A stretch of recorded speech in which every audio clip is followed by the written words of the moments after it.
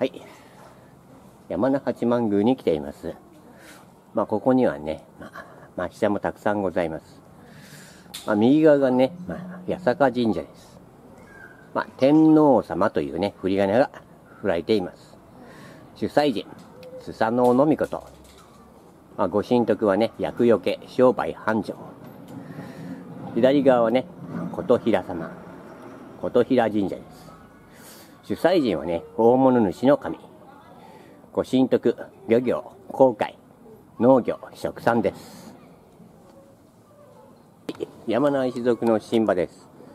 応仁の乱の西軍の指揮を取った山名宗全の祖が当社を勘定した山名義則です。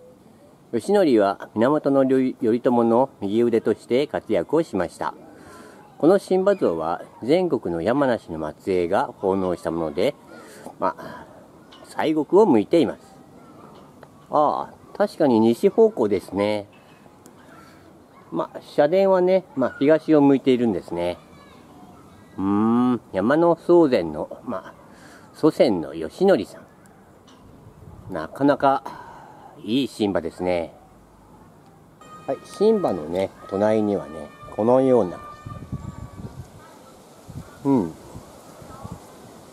山名町上組の妻恋稲荷神社。主催人、深の御霊の御神。ご神徳五穀豊穣商売繁盛。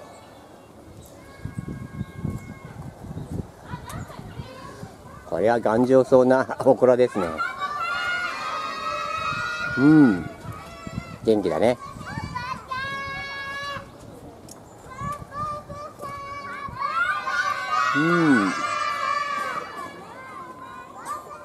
まあ何かね、まあ呼びかけていますよ。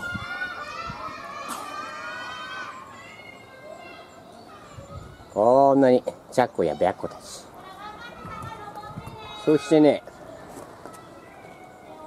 これはね、まあ上組の方なんですけど、まあ下組のね、妻恋稲荷神社。まあそちらにあるんですよ。うん。でね、ここにもね、ご神木とね、まあ石。安産子育て。神話の御代、イザナギの御事、イザナミの御事、田柱の夫婦神は、まあ、天の柱、神木に向かい、イザナギの御事は、右から回り、イザナミの御事は、左から回り、先に男性から女性に声をかける。それによりたくさんの、まあ、まあ、巫女神、子供を授かったとされる。また、ご神木を男性が触れ、横にある石を女性が触れると子供を授かるという信仰もある。それとともに山名八幡宮では昔より、二股大根を備えることにより願い事が叶うとされる信仰もある。これは面白い信仰ですね。うーん。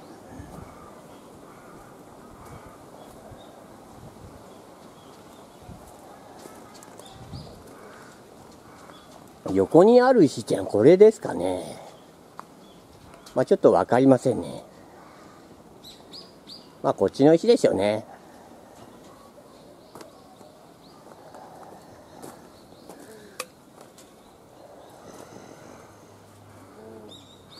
うん。引用の神木？小高に恵まれと言われる引用神木は樹齢300年以上です。ザナミの義の御事とイザナミの御事が天の御柱神木を回りたくさんの、まあ、御子神を授かったとされています。すごい木ですね。300年以上の無垢の木。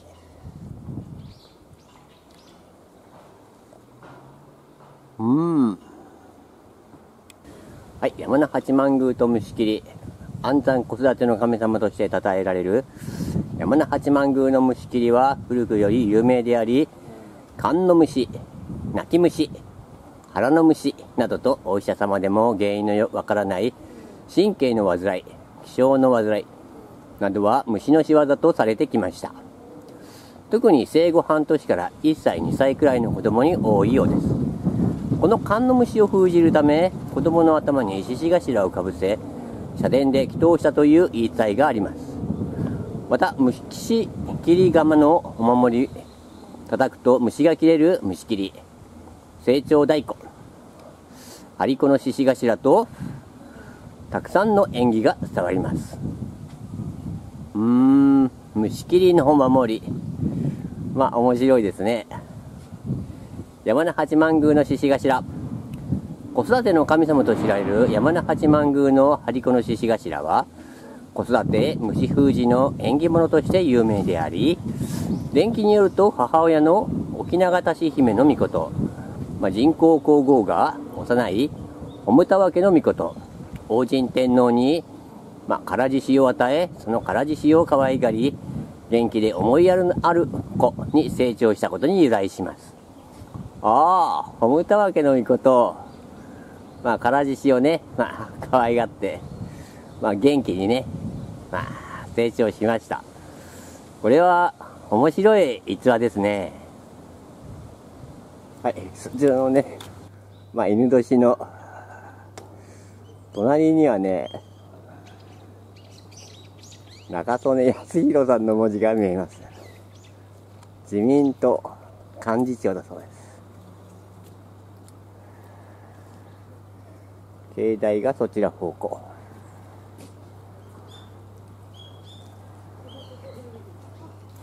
ここにはね、まあ、三日月型をしたね、まあ、池。まあ、弁天池なんですね。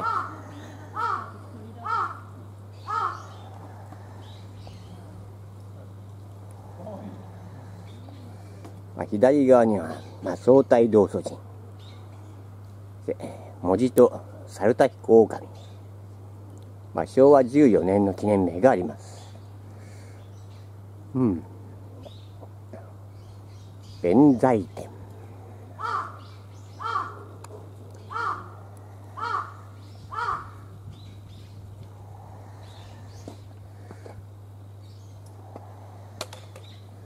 ね、三日月型してるんですよ。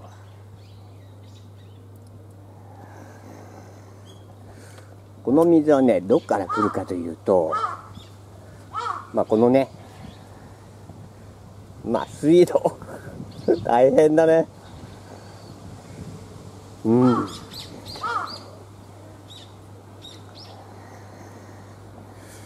向こうにはね、蔵王、御嶽山蔵王大権現。まあ、そのようなね、まあ、祠もございます。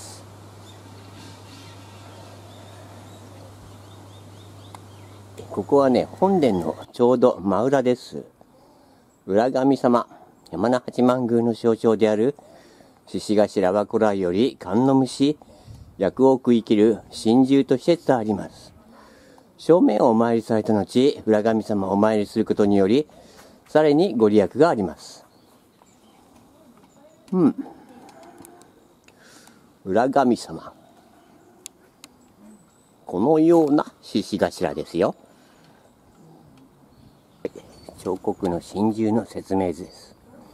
平成3年11月に1年1か年かけて極彩色に日光の小西美術工芸が塗り上げた神を守る動物ですこの彫刻は約225年前明和6年6月14日東上州瀬田郡上田沢村関内文次郎と筆書きしてありましたこのように6種の動物のいるお宮は関東ではここだけです。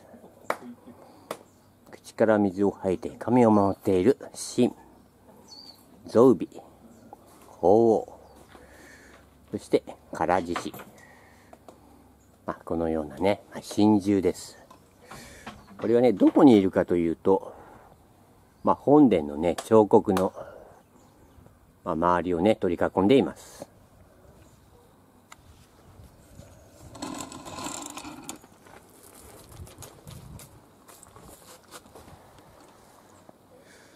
ちらですね。すごい。綺麗な彫刻ですね。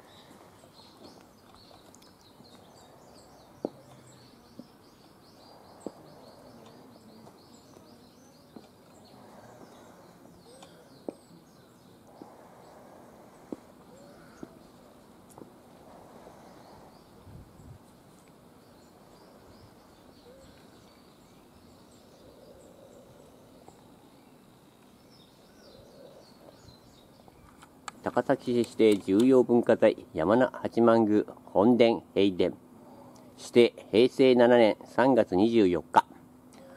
当社殿は本殿平殿拝殿からなる権現造りの外観を呈しているが本殿と平殿が同時期に一体なものとして先に建てられ拝殿が後から建てられたものである。本殿は三元社流れ作り側面三元。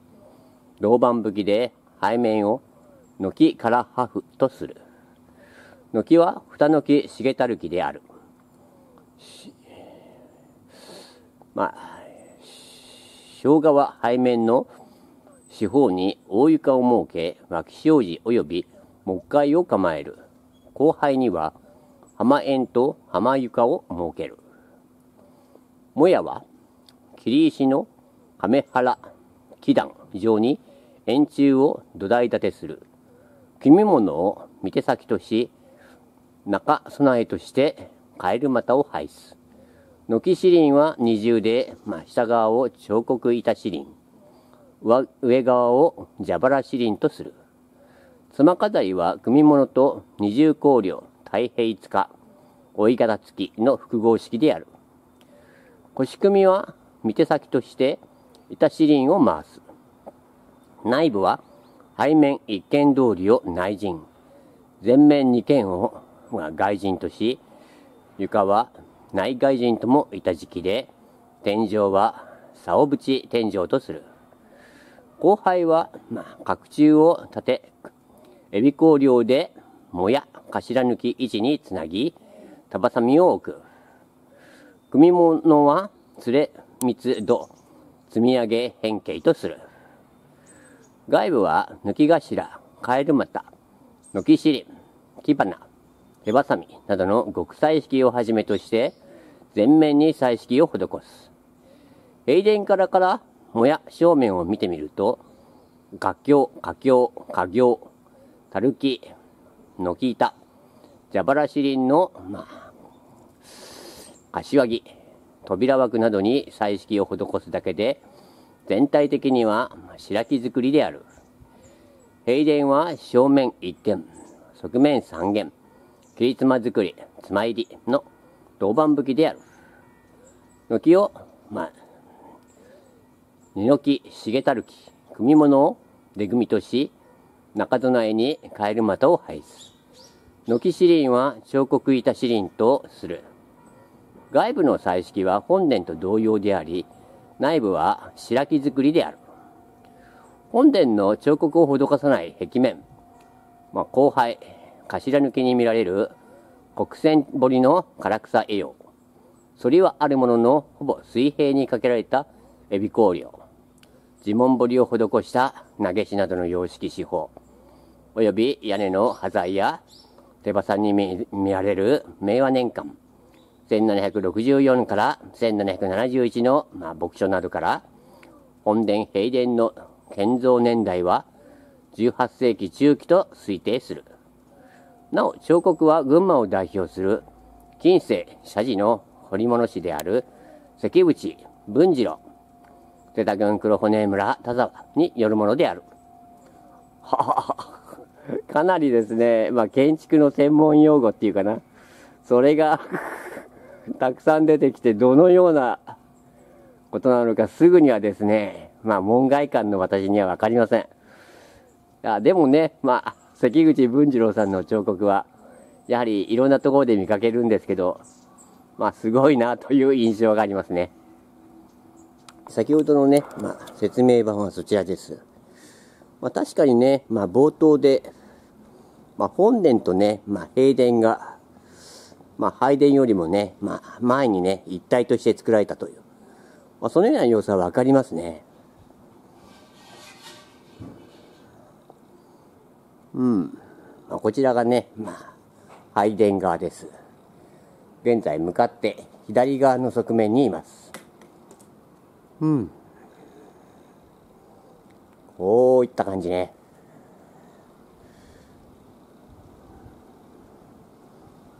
すご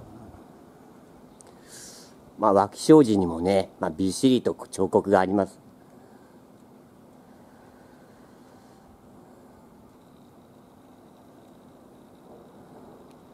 うん。なかなか関口さんいい掘り物師ですね。今ねここね畳に座ってるんですけどこの畳ね、硬くないんですよ。ね、ふかふかしてるでしょ。こういった座り心地のいい畳もあるんだね。こちらがね、拝殿です。こういった感じ。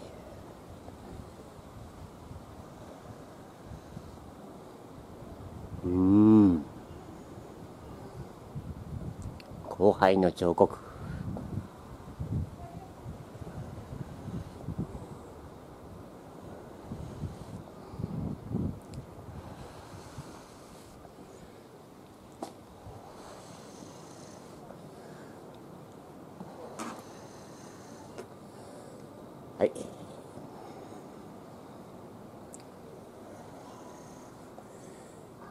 八幡宮からお送りしました。